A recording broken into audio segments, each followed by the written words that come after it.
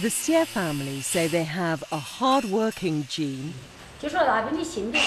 and a gene that's good for business. For as long as I've known them, their ambition has always far outstripped the rest of White Horse Village.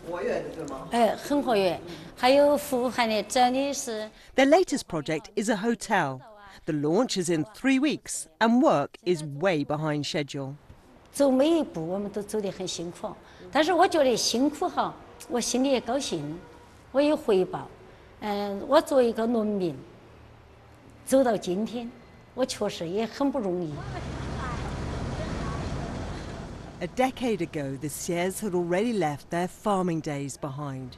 The new rich of Whitehorse Village, taking a rare afternoon off to celebrate their daughter's 20th birthday.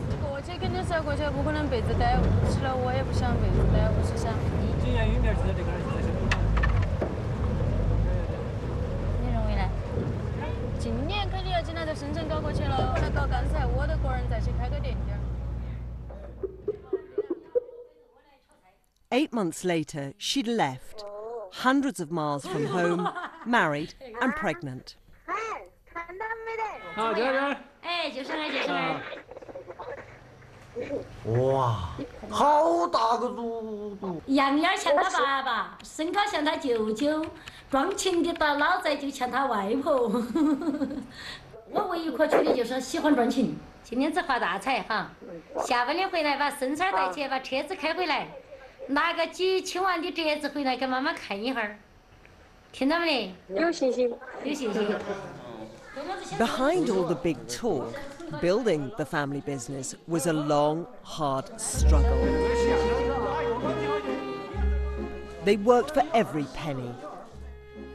We watched as a city was built on the fields of White Horse Village, China's vision for a rich urban nation.